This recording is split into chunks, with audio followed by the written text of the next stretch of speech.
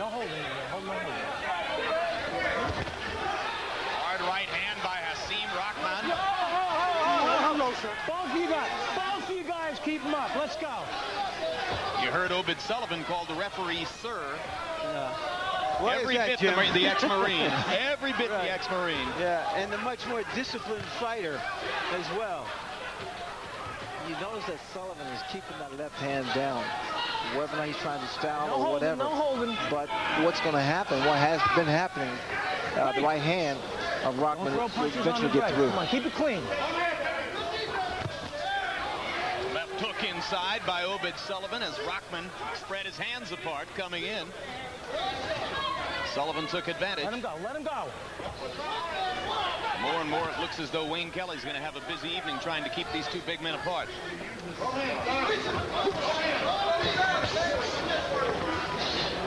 All right, break.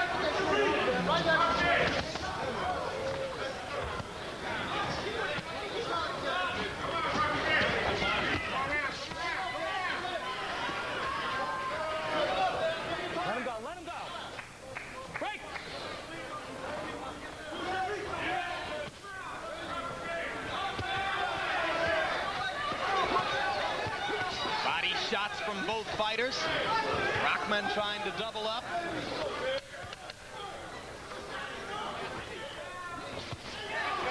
Quick left hook inside by Hasim Rahman to punctuate his attack in round number two.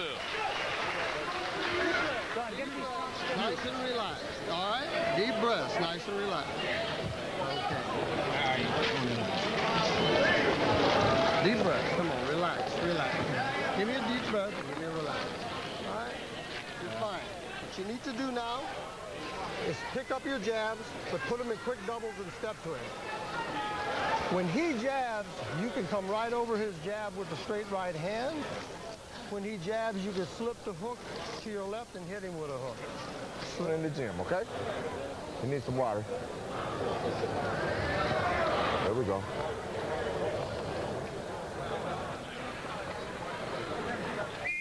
Rahman throwing the right over the low left, as Ray pointed out. Rahman is fighting a more disciplined fight than he has in the past.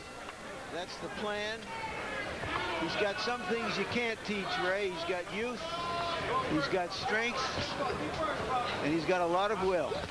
He, he appears to be quite patient, very, he's taking his time, he's very composed. He's really working his left jab.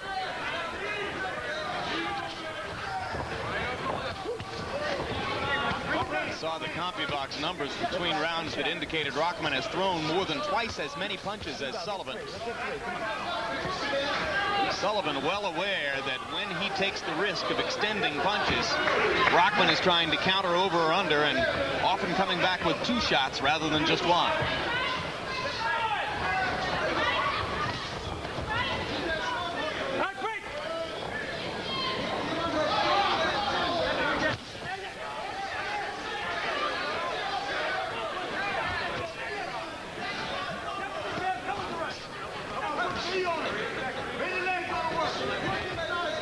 Of these fighters Let him go. Let him go. Come on. attended junior college for a semester or two. Rahman's father is a computer engineer, a brother in medical school. Both bright, quick-witted young men. I would think that inside is more so to Rahman's favor because his punches are a lot shorter and a lot crispier, whereas that Sullivan's better on the outside. Well, in addition to that, there's only a five-pound weight difference, but Rahman looks up close by far the stronger man. So it's hard to see any benefit for Sullivan in leaning in in course, close quarters against Hasim. Exactly, Jim, because you notice when he's outside, using his height and his his uh, his reach, he he, uh, he outpoints Rahman a lot better.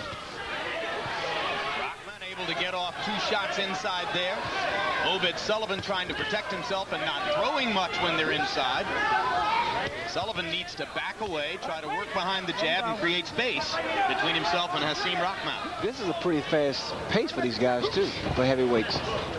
So it'll be interesting to see whether or not Rahman tires. You know, my guess, Ray, is, is that is that Sullivan feels a little safer at close quarters because he's been getting hit with hard punches just like that when they're at a distance.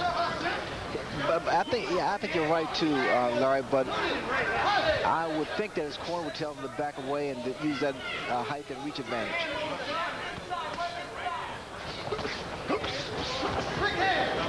Hard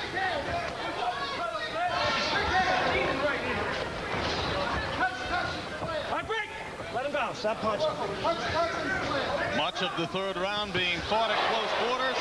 There's a left-right one-two by Rahman that wobbles Sullivan as the seconds tick away in the third.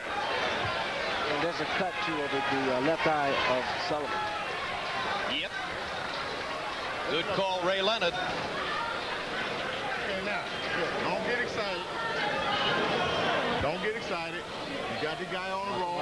We gotta stay big. We gotta stay with our business now, okay? Straight one, two, just basic stuff, Rock, okay? You're stepping up nice with that jab, son. That's what you gotta do, okay? Don't get crazy on us now. Basic fundamentals, son, okay? And Straight still to come tonight, second of our two main events, featuring New York's own Lou Savarese. Split decision loser earlier this year against George Foreman in a fight that Savarese and his manager trainer Tommy Gallagher are convinced they should have won against the former David Izonritei, now fighting to Larry Merchant's great glee as David Izon. Just when I had had his name almost nailed. Stay in your corner. Stay in it. Tommy Brooks told Rahman not to go crazy. Frankly, I'd like to see him get a little crazy once in a while during the round. I think what he needs to do, Larry, is to, to remain aggressive because that last round, he really rocked Sullivan with that overhand right. Many, many people in the boxing world felt that Sullivan would win this fight uh, because of his experience, because Rahman is a more is a cruder fighter. Uh, but it's the kind of fight the young, strong guy will assert himself in if he's got the real stuff. And the way he's firing the jab and moving behind it, taking advantage of Sullivan at close quarters, landing right hands over the top. He's got everything going his way at this stage of the fight. He definitely does. In fact, he's very relaxed. If you notice Break. Step uh, back. the way he's approaching this fight, Rahman is extremely loose, very confident, very confident. Sullivan able to step in and land No a left him. Come on, hook let him go. as Rahman was coming toward him. But there have been too few of those moments for Obed Sullivan. Right, do you see why George would have, George Foreman would have pulled out of his scheduled fight with Rahman and, and taken Sh- Shannon Briggs instead? What do you see in Let him go, let him go. Rahman that Watch would concern uh, Big George? Well, Rockman is very aggressive. He has a decent, a pretty good left jab. Right. And um, I think that um, he can prove to be a tough fight for anyone.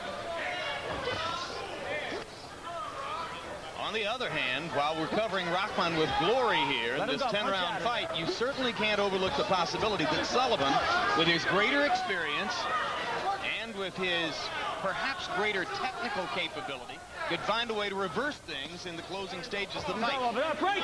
No If. Rahman tires, and let me correct myself, 12-round fight, not a 10-round fight, so plenty of time left for Sullivan to get it going his way. You need to see the, the execution of left jab by Rahman is so straight, so powerful. It knocks the head back of Sullivan. But I don't, I don't want to discount uh, what Sullivan is trying to do because it's a long way for the uh, end of the uh, 12th round. Yep. This is a 12-round fight. Savarese versus Izon will be a 10-round fight.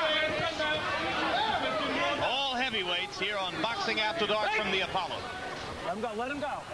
Come on, guys. Keep it clean. No holding. Both of you guys. Two good left hooks by Sullivan, one to the head, one to the body.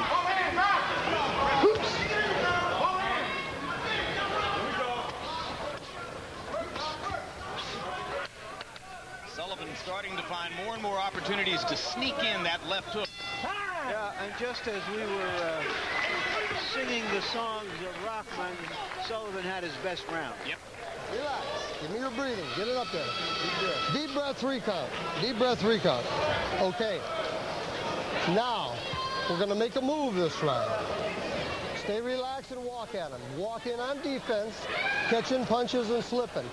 I do not want that left hand down. I want it up at your side Okay. because he's tying it up on the inside. Don't give it to him. I want it where you can step back and hook and step back and uppercut. Touch him quick. Don't let him grab you. If he grabs you, pull him. But turn Finish though, okay? Back this guy up with that jab. Okay. He'll be right there for the right hand. Throw it, throw it straight, right down the pipe, like we worked on in the gym, okay? Okay. When you're on the inside, start throwing that uppercut.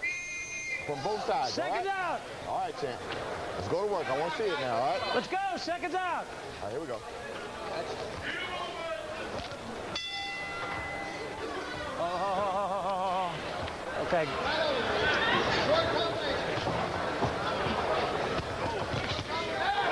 Great right hand lands for Sullivan after the triple jab.